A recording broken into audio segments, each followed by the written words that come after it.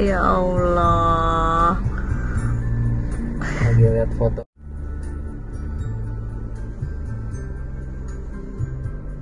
Eh, Pak Dodi Sudrajat. Eh, Pak Dodi, Pak Dodi kangen ya. Kangen ya, lagi kangen sama Ece. Hai Pak. Halo. bawahnya tuh kayak kayak ini Kami tidak eh, bisa untuk melakukan eh, apa yang sifatnya euforia dan kegembiraan.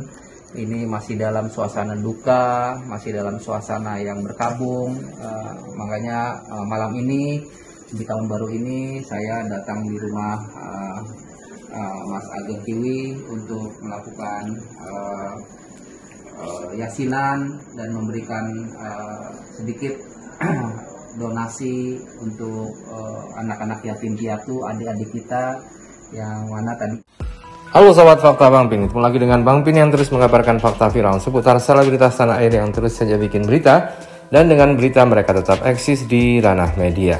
Kali ini kita kembali. Ada yang kangen dengan Pak Dodi? Nah, ini kita hadirkan Pak Dodi yang lagi kangen sama Eca dan juga Dodi Sudrajat mengaku tidak merayakan 2022, ngaku masih berduka. Tetapi kok bikin warganet emosi ya? Nah, bagaimana ceritanya? Kenapa warganet selalu saja emosi? Yuk kita simak saja kupas tipis-tipis fakta Bang Pin kali ini like, subscribe, and komen jadi tunggu dan jangan lupa selalu ada doa dalam setiap lentikan jadimu. Ah, ya Allah. Lansir dari Intip Seleb dengan judul Dodi Sudrajat tak rayakan 2022 ngaku masih berduka warganet emosi. Dodi Sudrajat kembali mengundang emosi warganet usai menceritakan bahwa keluarganya tidak bisa merayakan euforia tahun 2022 lantaran masih berduka. Warganet kemudian menyinggung acara 40 harian mendiang Vanessa Angel yang malah diadakan konser oleh Mayang dan Cika. Seperti apa pernyataannya? Langsung saja kita simak penjelasan berikut ini. Pergantian tahun 2022 menjadi momen membahagiakan semua orang. Namun berbeda dengan keluarga Dodi Sudrajat. Sebab ia mengaku tidak bisa menikmati euforia tahun 2022. Hal ini disebabkan lantaran keluarga Dodi masih berduka. Ia mengatakan kehilangan anak putrinya yang paling dicintai sehingga tidak bisa merayakan acara yang sifatnya kebahagiaan. Di tahun yang berbeda, di mana kami sekeluarga masih berduka atas kehilangan anak putri kami yang sangat kami cintai.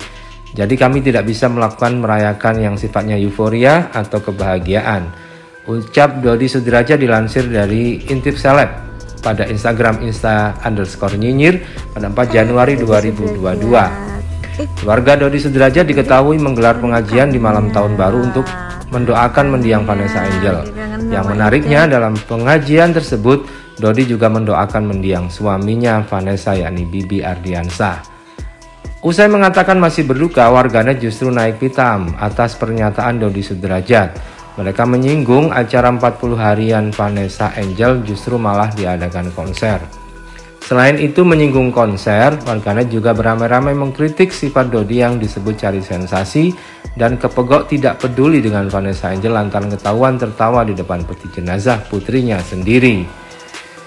Bilang aja nggak punya duit buat liburan, kata Neter. Helah, di depan jenazah Vanessa aja lu ketawa-tawa, bisa aja lu ngelesnya, singgung Neter yang lain.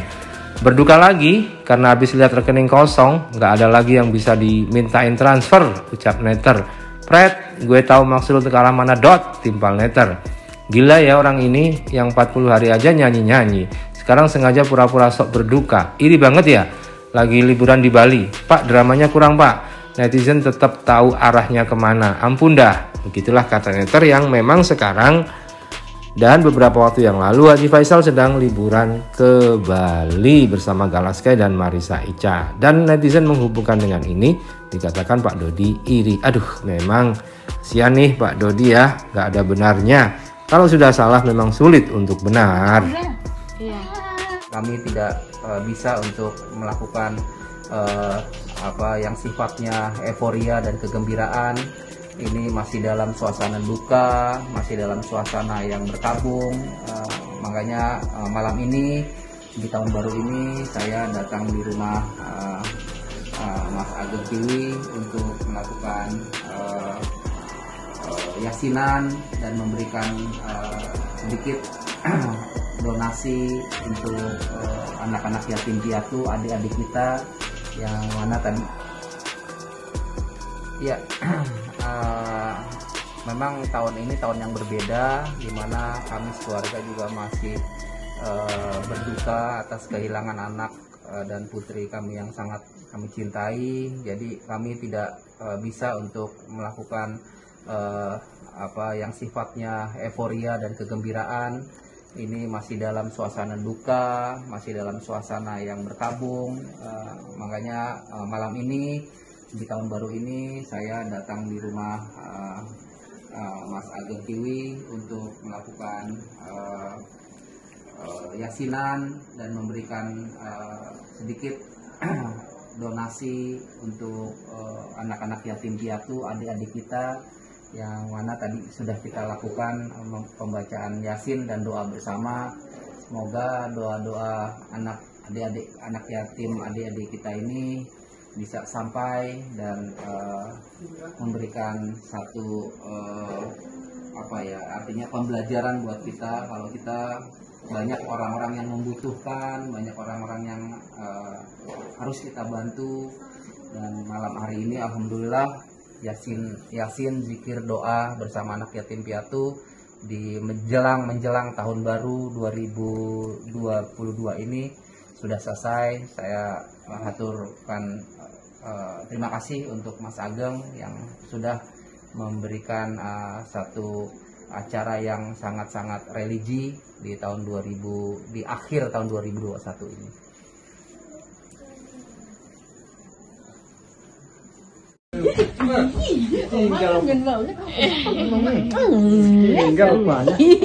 Seneng deh seneng deh seneng deh Kakak, kakak, kakak, kakak, kakak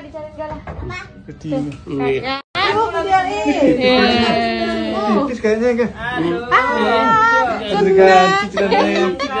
seneng banget ketemu oma. Ketemu oma. Ketemu opa. Ah mau ke Kak Aurel Iya. makan dulu Makan kita sudah makan semua. Waduh.